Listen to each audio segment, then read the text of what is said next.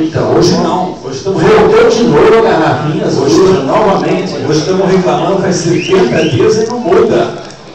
Olha, essa, essa é a água que o Debrecht está oferecendo à população de São Paulo. Ô, Vereador, é que você mostrou a eu garrafinha, surgiu uma dúvida também.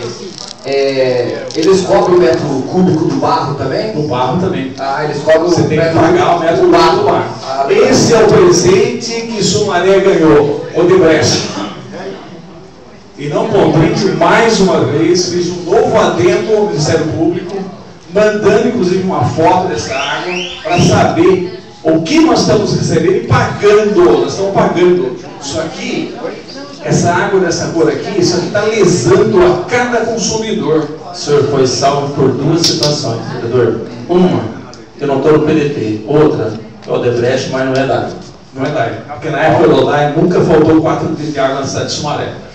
A outra, o Debrecht já faltou quatro dias de água. Essa água que está oferecendo para o povo a um custo Questão de ordem, presidente. Questão de ordem, vereador. cedo a parte, irmão vereador Décio Margoni. Sou ouvido, O vereador. senhor disse que nunca faltou quatro dias, então o senhor não morou na Aracura, porque a Aracura já faltou 10, 12, o vereador Geraldo Pereira sabe disso, que eu já vi lá, que era baldio lá. Mas não. Então o senhor está esquecido do passado. Vereador, a gente sofreu muito com água aqui. Não estou defendendo o Debrecht não, não estou defendendo o Debrecht- o Debrecht não, mas falar que nunca faltou água quatro dias, Somaré, Mas na área cura, vereador, na área cura, eu resolvi o problema da água da área cura.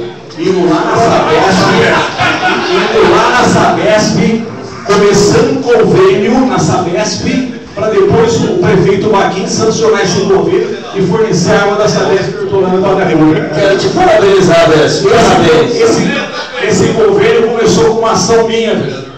Junto à Sabesp Hortolândia. Tem registro, tem documento que comprova isso para Vossa Excelência. É, e na administração foi feito toda esse, essa situação, foi a administração do PDT na época, né? O presidente Luiz Eduardo Almanza que fez todo esse trabalho e que melhorou a água, né? Agora, de novo, voltou agora ao Debrecht e agora está essa situação. Porque terceirizou. Se tivesse na mão do lugar, não estaria assim.